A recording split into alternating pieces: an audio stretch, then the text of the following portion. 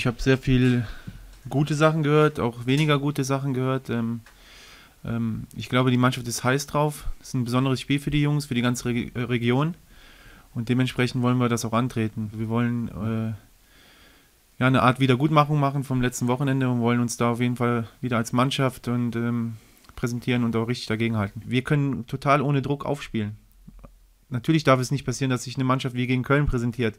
Ähm, das war auch äh, ja, ein Stück weit auch der Hinrunde geschuldet, die nicht gut lief und äh, das war alles neu in den Köpfen der, der Jungs drinne dass in einem kleinen Rückschlag sofort alles auseinanderbricht. Und daran müssen wir arbeiten, dass es eben nicht mehr der Fall ist. Man kann immer viel reden und so, aber am Ende müssen die Jungs es äh, irgendwie hinkriegen, dass der Kopf frei ist. Ähm, mehr als positiv sein können wir nicht und versuchen, die Fehler zu zeigen, aber auch die guten Sachen zu zeigen. Und am Ende müssen die Jungs dann äh, das auf dem Platz erledigen.